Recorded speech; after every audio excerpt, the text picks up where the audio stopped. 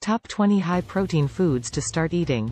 Hi there and welcome to this informative video on the importance of protein in the body. Protein is one of the most essential macronutrients in our diet. Providing us with energy and helping to build and repair our cells and tissues.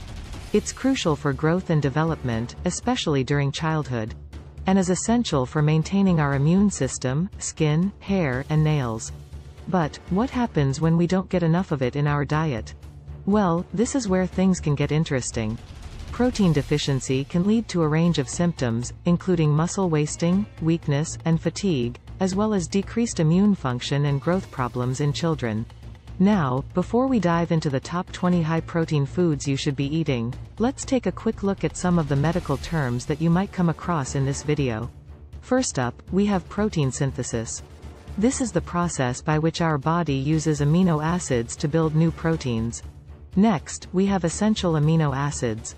These are the building blocks of protein and cannot be synthesized by the body, so they must be obtained from the diet. And finally, let's talk about bioavailability. This refers to the proportion of a nutrient that is absorbed and utilized by the body. Before we continue please hit that subscribe button, like us, and smash the notification bell, so YouTube can notify you when we post new videos. Thanks. So, without further ado, let's get into the top 20 high-protein foods you should be incorporating into your diet. Chicken breast 31 grams protein per 100 grams serving.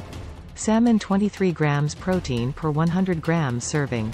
Eggs 12 grams protein per 100 grams serving. Greek yogurt 11 grams protein per 100 grams serving. Tuna 25 grams protein per 100 grams serving. Lentils 9 grams protein per 100 grams serving. Beef 26 grams protein per 100 grams serving. Quinoa 8 grams protein per 100 grams serving. Cottage cheese 14 grams protein per 100 grams serving. Nuts, almonds, peanuts, walnuts, 6 to 9 grams protein per 30 grams serving. Chia seeds 4 grams protein per 28 grams serving. Turkey breast 31 grams protein per 100 grams serving. Edamame 8 grams protein per 100 grams serving. Pork tenderloin 22 grams protein per 100 grams serving. Whey protein powder 24 grams protein per 30 grams serving.